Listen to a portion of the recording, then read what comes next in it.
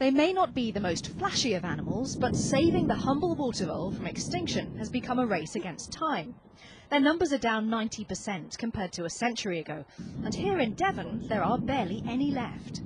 That's why the Environment Agency has been carrying out managed releases of hundreds of water voles on riverbanks across the country to try to re-establish them as the familiar sight they once were.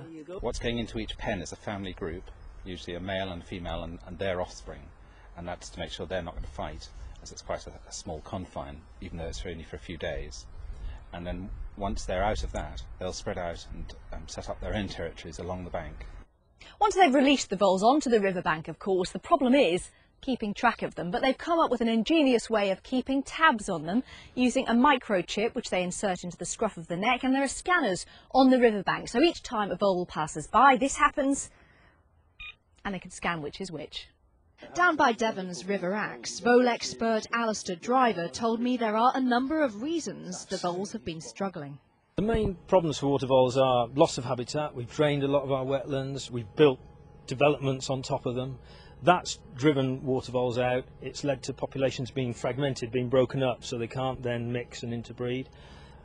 American mink were introduced for fur farming. They escaped in the wild. They decimated our water vole populations over a period of 50 years or so.